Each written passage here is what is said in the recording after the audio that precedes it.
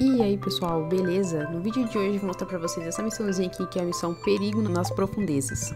Bom, nesse meio tempo deixa aí seu like, se inscreve no canal porque eu vou mostrar pra vocês aqui algumas dicas que eu uso aqui bastante pra fazer essas missões do Mr. K e conseguir várias gemas, inclusive porque é muito bom pra quem quer alcançar a perfeição no Stardew Valley.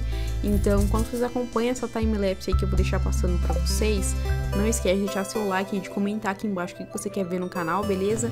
E de compartilhar com alguém que você sabe que também adora Stardew Valley. Então eu volto assim que acabar essa timelapse aqui pra vocês.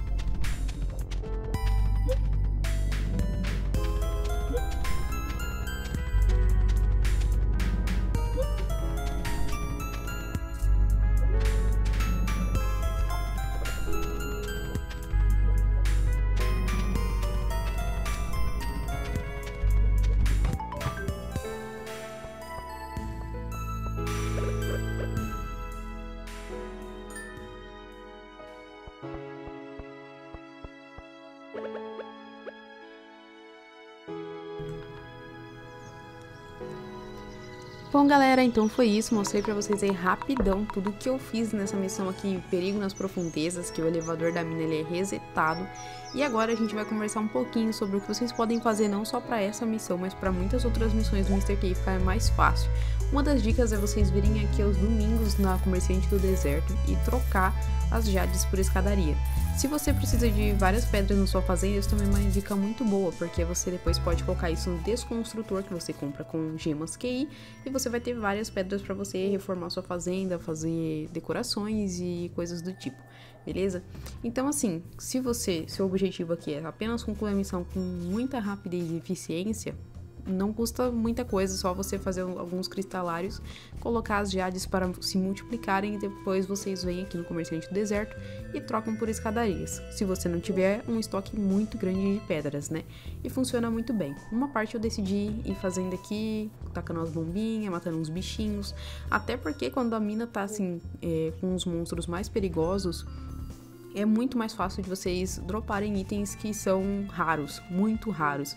Eu, meu objetivo é ainda conseguir uma auto-acariciadora. Como eu não optei em seguir o meu save pelo, pela corporação Georgia, então não é fácil porque eu não consigo comprar, eu tenho que dropar. E para dropar tem que ser matando os bichinhos aqui ou na caverna da caveira quando os monstros estão bem perigosos, né?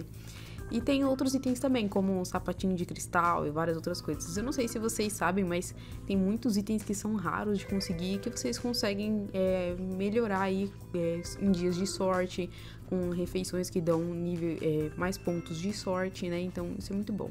Fora que a gente ainda consegue uma gema ou outra aqui matando os bichos, então depois é mais fácil de conseguir os pontos lá com o Mr. K. Eu tava também com a missão do grão QI ativa, então, tipo assim, você matar os bichos ajuda muito a conseguir as sementes e você destruir aqueles baúzinhos que você pode encontrar no meio aí da, da mina também vai te dar grão QI. E eu queria muito fazer essa missão, inclusive vai ter um vídeo no canal que fala apenas sobre isso, então se ele já tiver saído no canal, vou deixar aí nos cards, se ele não tiver é, vocês acompanham, se inscrevem no canal, né? Não esquece de deixar o seu like, de comentar aqui embaixo o que você vai achar desse vídeo e o que você quer ver aqui mais pra frente, tá bom? Pode ser sobre Stardew Valley ou algum outro jogo que vocês achem que é bacana trazer por aqui. Tem aqui esse monstrinho, tá vendo? Ele me deu esse esse dano em que o personagem fica com náusea e daí é muito simples, né? Depois da atualização 1.5, que agora já tem para celular também, vocês podem vir comer um gengibre, então eu recomendo que sim, sempre que vocês estiverem nessa missão, vocês tenham um gengibre junto com vocês e você consome ele e tá tudo certo. É, lembrando que, tipo assim, se fosse naquela missão da Caverna da Caveira onde você não pode comer, você não poderia ingerir nenhum gengibre, nem nenhuma outra refeição. Porém, naquela missão também você pode usar as escadarias, também é muito mais fácil de conseguir. Aí depois você passar do nível 100, você pode consumir qualquer coisa que você quiser. Aqui começou a missão da mina e tem esse bichinho aqui, ele é muito chato, né? E ele atrapalha demais. Mas assim, vocês podem sempre comer um gengibre que o efeito vai passar e aí vocês conseguem seguir tranquilamente. Tá lá, eu peguei algumas coisinhas, ó. Tem esses itens aqui são os que vocês dropam nesse andar aqui, nesses andares que eu estou passando agora na mina, tá bom? São alguns dos itens que eu falei pra vocês que são raros, que são difíceis de conseguir. A autoacariciadora até agora eu não tenho nenhuma, nenhuma, nenhuma, nenhuma. Inclusive, comenta embaixo como que você conseguiu, se você tiver alguma, porque pra mim tá muito difícil de vir. E aí eu tô na busca desses itens aí pra eu poder mostrar pra vocês alguma coisinha que eu consiga encontrar por aqui. Lembrando que é sempre bom a gente aproveitar os minérios radioativos, né? Porque não é tão fácil de achar eles como parece, né? Então vale a pena sempre que vocês acharem algum minério, vocês pegarem, coletarem para levar para fazenda e depois poder construir, fazer a barra, né? Ah, não se esqueçam que aquelas caveiras grandes, elas dropam aquele doce de pedra mágica, que é um item muito raro. Tipo, ele é muito mais raro que um fragmento prismático, por exemplo. Já esses outros, esse outro item que é o doce de pedra mágico, ele é um item realmente muito raro. Inclusive, dá pra vocês usarem ele até na alfaiataria. Eu vou deixar um link aí nos cards para vocês conferirem das roupinhas que eu já fiz com esse item e com vários outros que são difíceis de encontrar, beleza?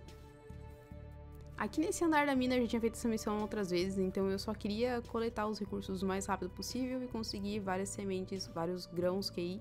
Então eu usei as bombas a meu favor, né? Eu acho que assim, é um consumo muito alto, mas às vezes compensa, porque se você tiver que encontrar alguma coisa arando o solo ou destruindo as pedras, vai ser bem mais fácil de conseguir.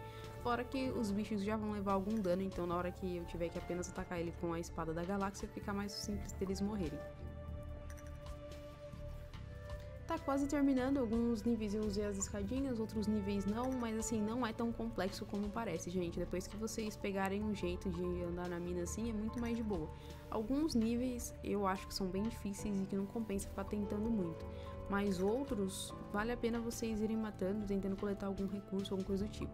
Desse, dessa vez que eu fiz essa missão, eu não tive muita sorte, eu não achei muitos minérios radioativos e eu também não encontrei nenhum item muito raro que eu ainda não tivesse encontrado.